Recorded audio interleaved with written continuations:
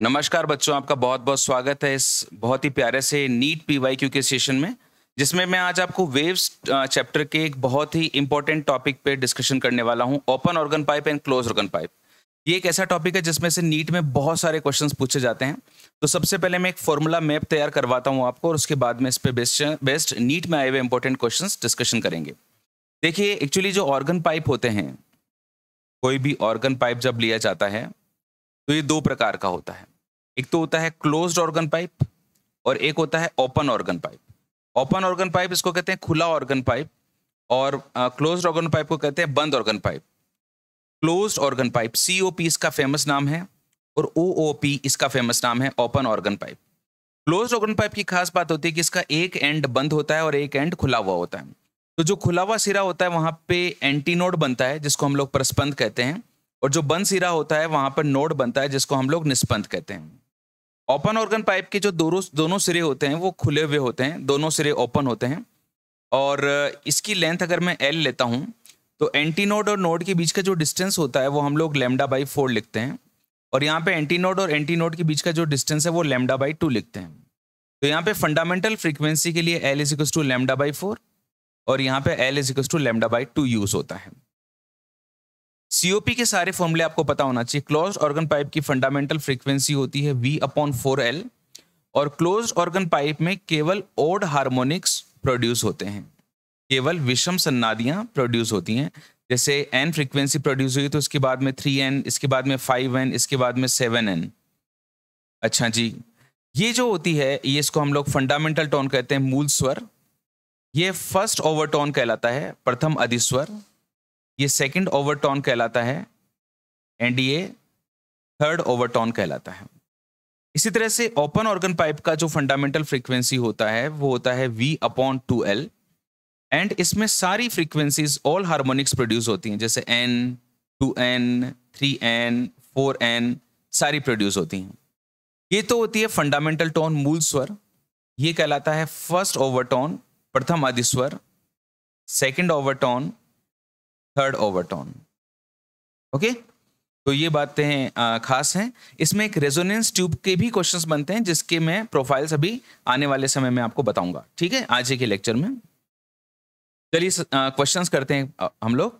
A cylindrical tube open at both ends has fundamental frequency F in air ये आपका एक open tube है, जो दोनों तरफ़ से ओपन है। इसकी जो फंडामेंटल फ्रीक्वेंसी है, वो एफ़ है। अब आपको पता है ओपन पाइप की जो फंडामेंटल फ्रीक्वेंसी होती है, वो वी अपॉन टू एल होती है। The tube is dipped vertically in water so that half of it is in water इसको इस तरह से पानी में डुबाया जाता है इसका जो आधा हिस्सा है, वो पानी में डूब जाए। अगर आधा हिस्सा पानी में डूब गया तो पहले तो बच्चों पूरे में एयर भरी हुई थी एल लेंथ में। अब क्या हुआ? आधा हिस्सा में ही एयर है। केवल इस आधे हिस्से में ही एयर है।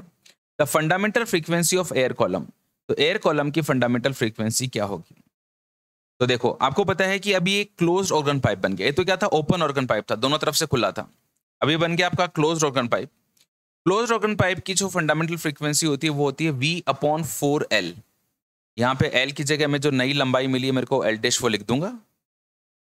और एल डेश की जो वैल्यू है, वो एल बाई टू आ जाएगी, ये इससे कट जाएगा। And v upon two L आ जाएगा। वी अपॉन टू एल मेरी फंडामेंटल फ्रीक्वेंसी ही है। So the correct answer of this question is D okay ये जो पैटर्न है, इसके ऊपर खूब सारे क्वेश्चंस पूछे जाते हैं एग्जामिनेशन में कि आपको, जैसे ये क्वेश्चन तो ऐसा था जो 97 में आया था, जिसमें आधा भर दिया था, आधा खाली था। किसी में थ्री फोर्थ भर सकता है, किसी में वन फोर्थ भर सकता है इस टाइप से। चलिए, अगला क्वेश्चन हम लोग करने जा रहे हैं कि the fundamental frequency in an open pipe is equal to the third harmonic of a close organ pipe देखो, नीट 2018 का क्वेश्चन है। कि एक ओपन ऑर्गन पाइप है और इस ओपन ऑर्गन पाइप की fundamental frequency fundamental frequency fundamental tone जिसको हम लोग हिंदी में मूल स्वर भी कहते हैं, इसकी जो वैल्यू है equal to third harmonic of a close organ pipe एक क्लोज ऑर्गन पाइप के तीसरे हार्मोनिक के बराबर है। If the length of the close organ pipe is 20 centimetre ये जो क्लोज ऑर्गन पाइप की जो लेंथ है, वो 20 सेंटीमीटर है। तो length of the open organ pipe इसकी आपको लेंथ बतानी है। तो देखो मैं यहाँ पे थोड़ा सिस्टमेटिकली लिख रहा हूँ fundamental tone of open pipe is equals to third harmonic of close organ pipe अच्छा फंडामेंटल टॉन क्या होता है बच्चों? ओपन पाइप का v upon twelve and third harmonic of the COP third harmonic harmonic का मतलब होता है जो उसका फंडामेंटल टॉन है, वो होता है v upon four L third harmonic का मतलब तीन से मल्टीप्लाई कर दो। वी से वी कट गया एंड इससे ये दो बार कट गया एल डैश की जो वैल्यू है मेरे पास में, वो आ गई three L upon two okay three by two of the L और एल की जो वैल्यू है सॉरी सॉरी मेरे को एल डैश गिवन है ना, मेरे को एल डैश गिवन है, मेरे को एल बताना है।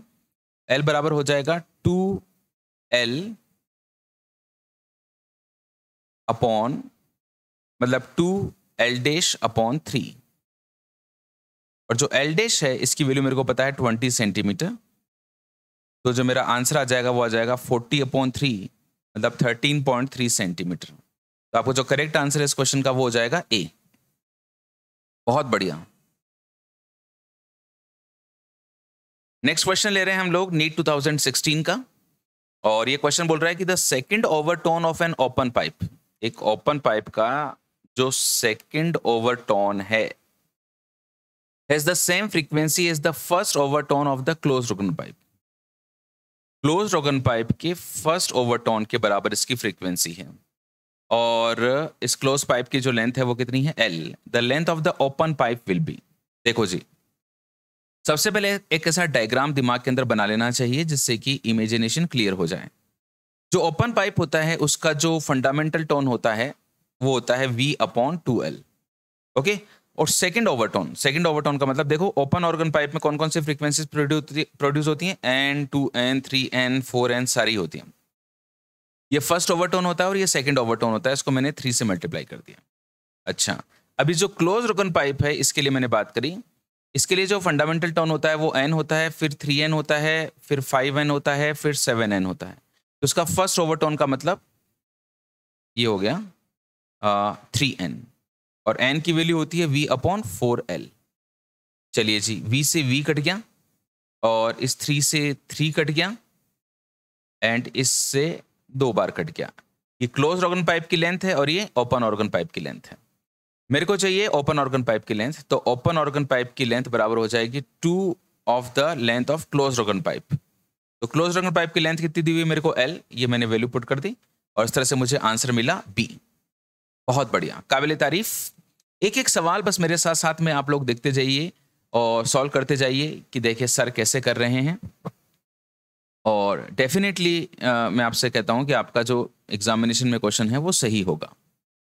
The air column close at both end both close at one end end open at the other end मतलब ये हो गया आपका एक तरफ़ से क्लोज और एक तरफ़ से open resonates with tuning fork when the small smallest length of the column is 50 centimetre ये यहाँ पे मैंने एक ट्यूनिंग फॉर्क रखा और आपको बोला गया है कि जब इसमें एयर कॉलम की जो लेंथ है वो 50 सेंटीमीटर होगी, तब आपको रेजोनेंस सुनाई दे रहा है मतलब तेज आवाज़ सुनाई देती मतलब ये रेजोनेंस ट्यूब के जैसा क्वेश्चन हो गया। The next larger length of the column resonating with the same tuning fork is तो जो अगली जो रेजोनेंस लेंथ होगी, वो कितनी होगी? तो बच्चों, एक बात मैं आपको बता देता हूँ कि ये क्लोज ऑर्गन पाइप है। और क्लोज ऑर्गन पाइप में अगर मैं बात करता हूँ कि पहली बार जो मेरे को रेजोनेंस लेंथ मिलती है, अगर वो एल है तो नेक्स्ट टाइम पे मेरे को तेज आवाज़ तब सुनाई देगी जब ये लेंथ थ्री एल हो जाएगी। नेक्स्ट मेरे को ये तेज आवाज़ तब सुनाई देती है जब ये फाइव एल हो जाती है। तो पहली बार अगर थ्री एल पे सुनाई दिया तो अगले पे थ्री एल पे, फिर फाइव एल पे, फिर सेवन एल पे, फिर नाइन एल पे, फिर इलेवन एल पे ऐसे सुनाई देती है। ओके तो अगर मेरे को पहली वाली लेंथ 50 सेंटीमीटर पे तेज आवाज़ सुनाई दे रही है या रेजोनेंस हो रहा है तो अगली तेज आवाज़ मेरे को थ्री इंटू फिफ्टी पे सुनाई देगी मतलब 150 सेंटीमीटर पे। यही मेरे को पूछा है तो मेरा आंसर हो जाएगा ए अच्छा इससे नेक्स्ट अगर मेरे को पूछता तो मैं क्या करता फाइव इंटू फिफ्टी कर देता, जो कितना आता टू फिफ्टी इस तरह से आगे बढ़ते जाएँगे हम लोग, है ना? तो ये छोटी छोटी चीज़ें हैं, जो सुन लेने के बाद में बहुत ज़्यादा बेनिफिट देती हैं। अगला क्वेश्चन है नीट 2015 का the fundamental frequency of a close organ pipe of length 20 centimetre is equal to the second overtone of the open organ pipe at the both ends the length of the organ pipe at both the ends will be देखिए एक ही एक type के question आपको ज़्यादा देखने को मिल रहे हैं, है ना? ये प्रोफाइल्स ऐसे हैं जो बार बार रिपीट होते हैं एग्जामिनेशन में। तो इनको अच्छे से देख लेना ज़रूरी है। Fundamental frequency of close organ pipe ये क्लोज ऑर्गन पाइप और इसकी लेंथ कर दी मैंने 20 सेंटीमीटर इज़ इक्वल टू इसका तो फंडामेंटल टॉन है फंडामेंटल टॉन ऑफ़ सीओपी और वो इसके सेकंड ओवरटोन के बराबर है second overtone of open organ pipe तो length of the open organ pipe क्या इसका फंडामेंटल टोन का मतलब होता है v upon four L okay close organ pipe का, और इसका सेकंड ओवरटोन पूछे आपको पता है कि ओपन ऑर्गन पाइप में सारी फ्रीक्वेंसीज प्रोड्यूस होती है n two n three n four n five n ये फंडामेंटल टोन होता है, ये फ़र्स्ट ओवरटोन होता है, ये सेकंड ओवरटोन होता है। फंडामेंटल टोन के बाद के सभी जो टोन्स होते हैं, उनको ओवरटोन्स कहते हैं। ये थर्ड ओवरटोन होता है। तो हमको बोल रहा है second over overtone second overtone का मतलब हो गया थ्री एन तो थ्री इंटू एन और एन की वैल्यू पुट कर दूँगा मैं वी अपॉन टू एल इससे ये कट गया। इससे ये कट गया दो बार। अब मेरे को क्लोज की लेंथ दी हुई है बीस सेंटीमीटर तो मैं इसको यहाँ पे मैंने बीस कर दिया। ये बराबर three upon L dash L dash की वैल्यू हो जाएगी आपकी two into twenty into three मतलब एक सौ बीस centimetre okay so the correct answer is one twenty centimetre बहुत बढ़िया। इसी तरह से करत करत अभ्यास के जड़ती हुए सुजान नेक्स्ट क्वेश्चन है हमारे पास में the number of possible natural oscillations of air column in a pipe close at one end of length 85 centimetre whose frequencies lie below 1250 hertz are कहने का मतलब हुआ कि एक आपके पास में क्लोज ऑर्गन पाइप है। एक तरफ़ से क्लोज्ड है और इसके अंदर एयर भरी हुई है और the number of possible natural बताना आपको फ्रीक्वेंसीज इसकी जो लेंथ है वो 85 सेंटीमीटर है। और आपको वो नंबर ऑफ़ नेचुरल ऑसिलेशंस बताने हैं जिनकी फ्रीक्वेंसीज 1250 हर्ड से कम है। ओके okay, साउंड की जो वेलोसिटी है वो आपको 340 मीटर पर सेकंड दे रखी है। तो सबसे पहले आ, इस क्वेश्चन को सॉल्व करने के लिए क्या करना चाहिए सोचिए आप। देखिए इस क्वेश्चन को सॉल्व करने के लिए हमको क्या करना है? सबसे पहले आप देखिए कि सबसे पहला जो रेजोनेंस है वो कितनी लेंथ पे बनेगा क्योंकि ये क्लोज ऑर्गन पाइप है। तो अगर मैं इस क्लोज ऑर्गन पाइप का फंडामेंटल टोन निकालता हूँ।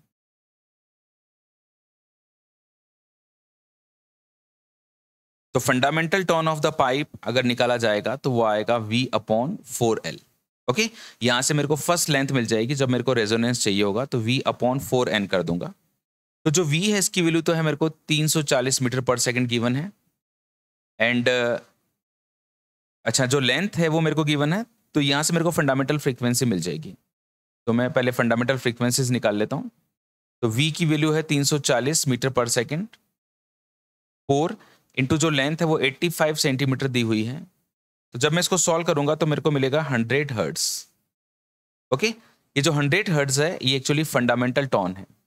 ओके फंडामेंटल टोन मतलब पहली बार जो तेज आवाज़ सुनाई देगी, मेरे को वो हंड्रेड हर्ट्स होगी। अच्छा। अब हंड्रेड हर्ट्स है और मेरे को 1250 से कम फ्रीक्वेंसी की वो वेव चाहिए तो सब, मेरे को पता है कि क्लोज रोकन पाइप में जो फ्रीक्वेंसीज होती हैं, वो ऑड हार्मोनिक्स होते हैं। N three n five n seven n है ना? नाइन एन इलेवन एन तो देखो, सबसे पहले फ्रीक्वेंसी मेरे को हंड्रेड मिलेगी। अगली फ्रीक्वेंसी से तीन गुना है मतलब तीन सौ हो गई। अगली फ्रीक्वेंसी पाँच सौ, अगली फ्रीक्वेंसी 700 अगली फ्रीक्वेंसी 900 अगली फ्रीक्वेंसी 1100 अगली फ्रीक्वेंसी 1300 मेरे को 1250 से कम चाहिए थी तो ये 1250 से कम है, ये भी कम है, ये भी कम है, ये भी कम है, ये भी कम है, ये भी कम है, ये ज़्यादा हो गई। तो कितनी संख्या हो गई? One, two, three, four, five and six. So my correct answer of this question is D बहुत अच्छे it was a nice question अगला question if we study the vibration of pipe open at both the ends अगर हम दोनों तरफ़ से open एक pipe के वाइब्रेशंस को स्टडी करते हैं then the following statement is not true इनमें से जो सही बात नहीं है, वो आपको बताना है।